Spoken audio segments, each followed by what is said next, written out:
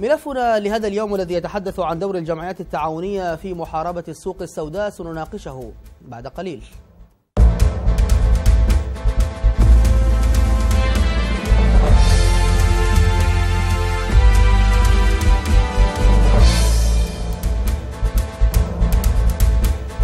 أكد رئيس الاتحاد القومي للتعاون الدكتور الدرديري عمر المنصور أهمية التعاونيات في تحسين معاش الناس.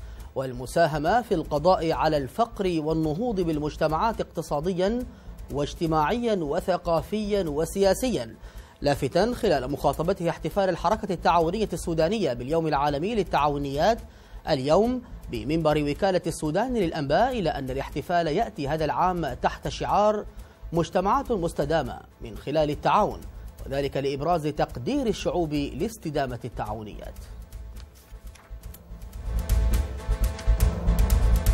ويتوقف نجاح التعاونيات على خطوات الإنشاء والتأسيس الجيد وفقا لأسس وقيم ومبادئ التعاون بتفعيل دورها والعمل على زيادة الإنتاج لتخفيف العبء المعيشي على المواطنين وأيضا لتحقيق الأمن الغذائي. تفاصيل أوفى في سياق هذا التقرير. تنبع أهمية العمل التعاوني وتأسيس التعاونيات في كونها تنظر للدوافع الاقتصادية الحتمية والدوافع الاجتماعية بهدف تحسين الظروف المعيشية إلا أن وجود التعاونيات على أرض الواقع يظل ضعيفا وغير ذي أثر نظرا لمحدوديتها وعدم انتشارها في كثير من مواقع المواطنين. الأمر الذي يصعب طريقة حصولهم على السلع الضرورية. العمل التعاوني له دور مؤثر جدا في حركة المجتمع وهو دور اجتماعي ودور اقتصادي. وعنده تأثير مباشر في حركة الناس وفي معاش الناس. والناس حينما يتكلموا عن التعاوني يتوقعوا بأن العمل التعاوني ده هو عمل في كثير من الأحيان أنه هو عمل اقتصادي اشتراكي هو بالعكس تماما. الآن العمل التعاوني موجود في أمريكا موجود في بريطانيا. العمل التعاوني موجود في فرنسا موجود في العالم العربي في الكويت في السعودية. هنالك جمعيات تعاونية. نحن نعتقد أنه السودان حينما يحتفل بهذا اليوم يحتفل لتطوير العمل التعاوني الإنتاجي. يعني إنتاج في مجال الزراعة في مجال الصناعة ارتباط المجتمع أيضا بالجمعيات التعاونية استهلاكية في ظل ظروف اقتصادية ضاغطة. بنبشر فيه أيضا للحكومات في السودان اجمع نقول لهم لابد من سند الحركة التعاونية. ففي الوقت الذي يزيد فيه التفاوت في الدخل في جميع أنحاء العالم فإن الجمعيات التعاونية هي الحل حيث تتيح العضوية المفتوحة للتعاونيات إمكانية تكوين ثروة والقضاء على الفقر وتعزيز المساواة بين أفراد المجتمع.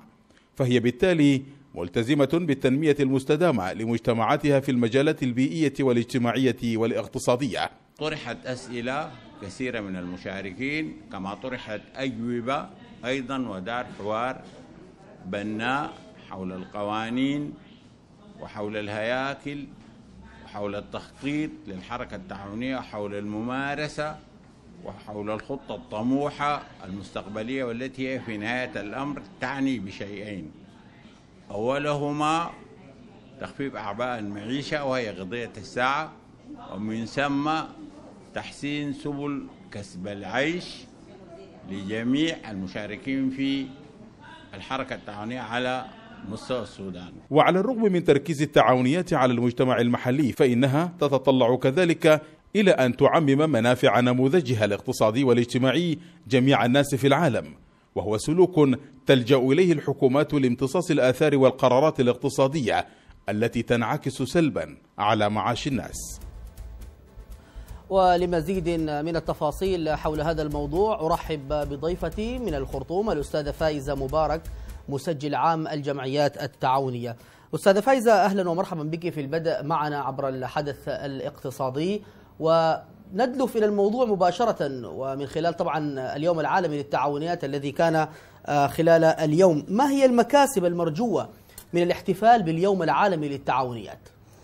حقيقة إحنا التعاون هو آه، رغبة في البداية. نحن بنتكلم عن التعاون. التعاون هو رغبة إضافة لأنه هو عبارة هو نظام اقتصادي بيعتمد على مساهمات الأعضاء في كل المجالات سواء كانت مجالات خدمية أو إنتاجية أو استهلاكية.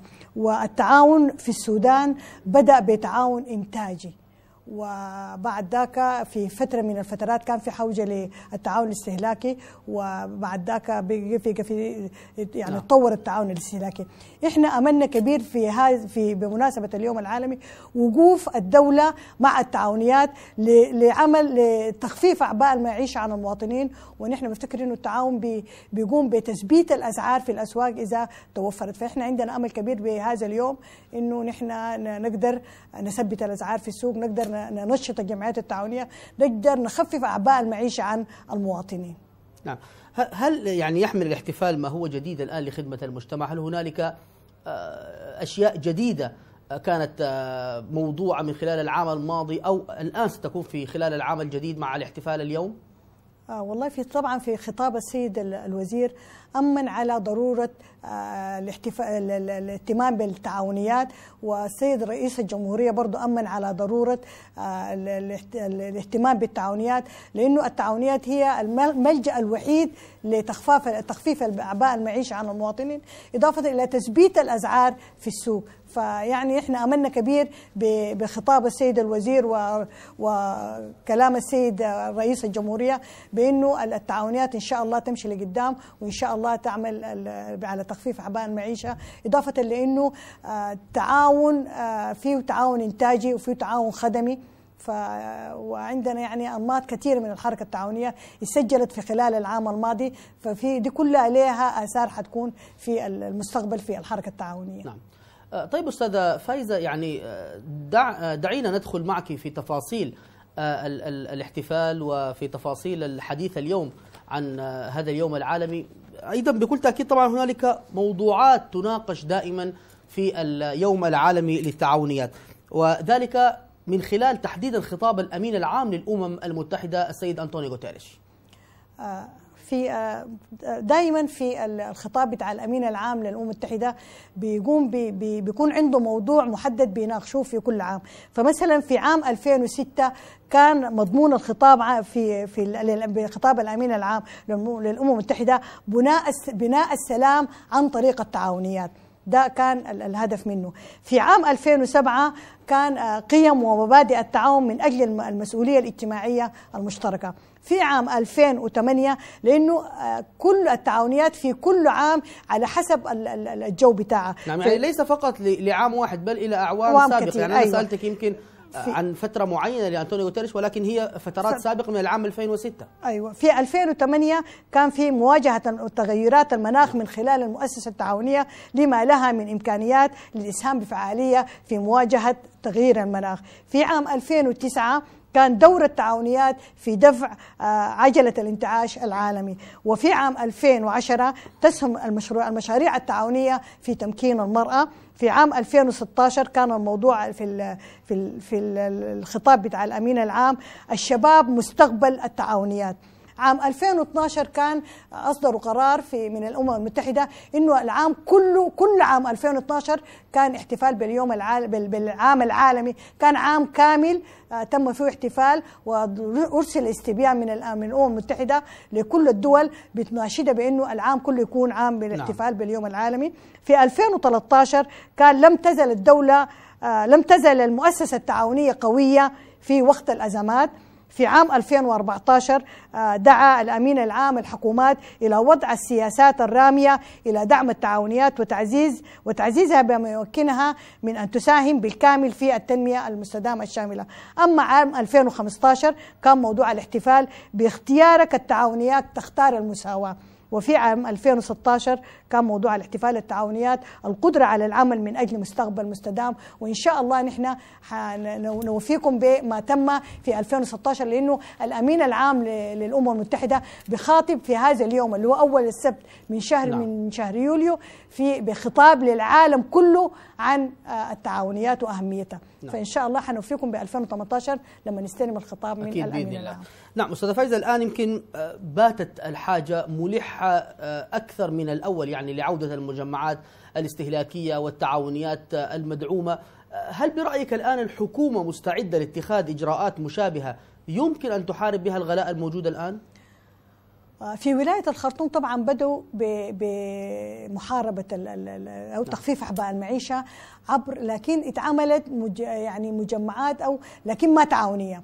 فنحن بنتمنى من ولاية الخرطوم إنه هذا الدعم يكون للجمعيات التعاونية لأنه كل الجمعيات التعاونية الاستهلاكية تابعة لولاية الخرطوم، فإذا كان الدعم للجمعيات التعاونية أنا بفتكر بيكون يعني أحسن وبيوصل المواطن أكثر. ما عبر ال- ال- ال- المراكز اللي عملوها لأنه المراكز دي ما مراكز تعاونية. فعبر الجمعيات التعاونيه انها تابعة لها أنا خيالي بتكون أحسن وبتكون وفرت أكثر أكيد. آه، من ال- المراكز.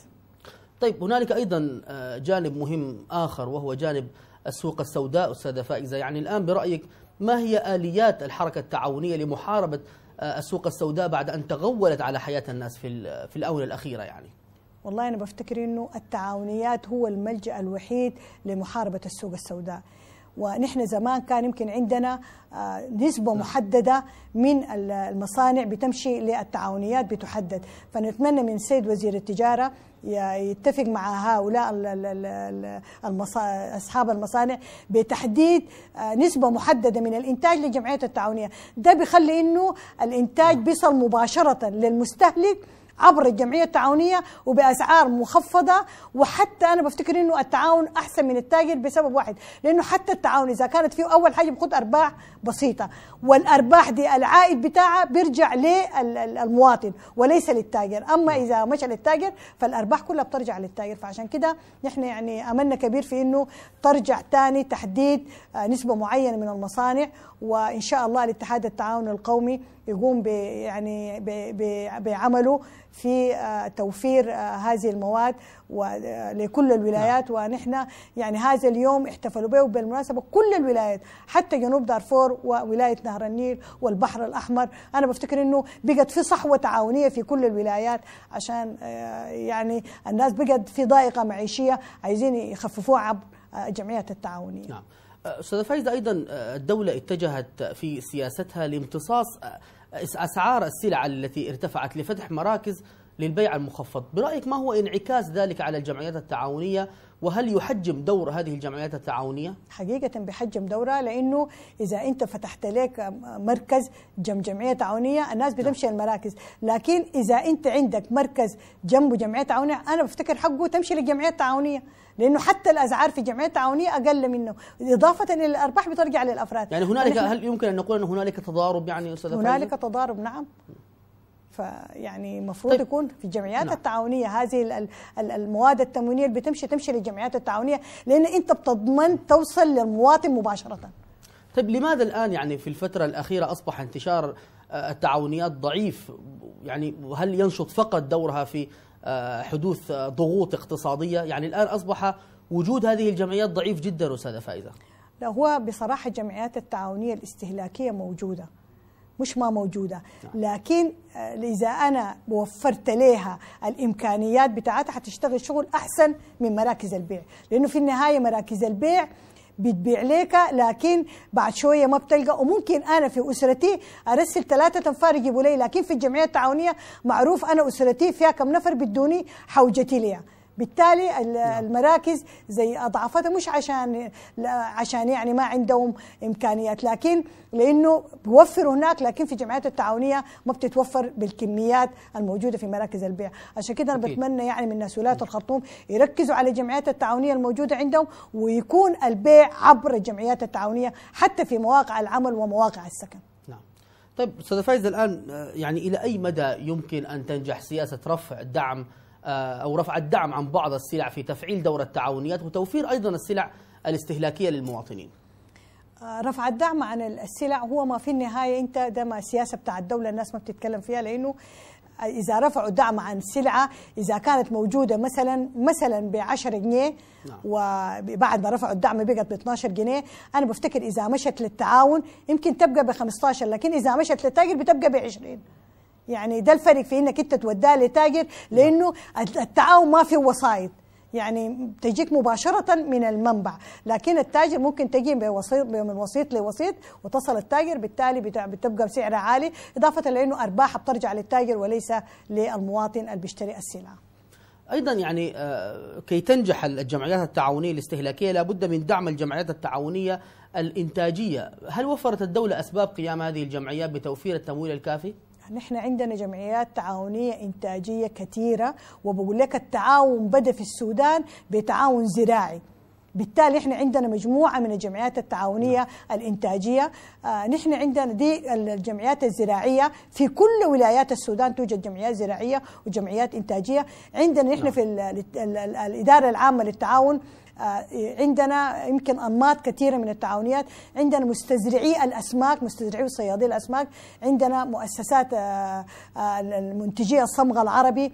عندنا آه، اتحاد النجارين عندنا يعني الأنماط بتاعت الحركة التعاونية بقت كثيرة ونحن عندنا يعني حتى المؤسسات والاتحادات اللي بتتبع لنا عندها أفرع في الولايات نعم. يعني في الولايات عندها أفرع ونحن بنقوم نكون نعمل الجسم القومي الموجود عندنا فعندنا جمعيات إنتاجية كثيرة وأنا بفتكر ولاية الخرطوم بالذات يمكن 60% من إنتاج الخضر من الجمعيات التعاون لكن يمكن آه، يعني آه، ما عندنا إعلام وينقصنا الإعلام عشان آه نقدر نوري إنتاج الجمعيات التعاونية إضافة لإنه التعاون عنده يعني رؤوس أموال ضخمة شديدة آه ممكن تكون ضمان للبنوك للتمويل للجمعيات التعاونية أكيد. وأنا بفتكر التمويل إذا كان عبر الجمعيات التعاونية أضمن للبنوك في سداده نسبة لإنه الجمعيه التعاونية تراجع سنويا ويوضع لها آه، ميزانية وت- وبتوري البنك يعني هل هو هل هذه الجمعية